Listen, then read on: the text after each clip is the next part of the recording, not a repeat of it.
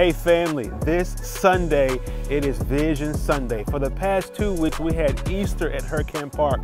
Before that we had Palm Sunday together. And as we all know, we're coming off of this two-year hiatus. We've been 100% virtual, but this Sunday, 11 o'clock, I got news for our church's vision. Where are we going? How does it look? And how do we get there?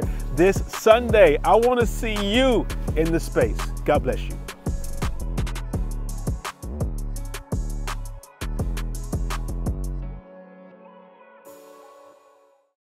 See you there.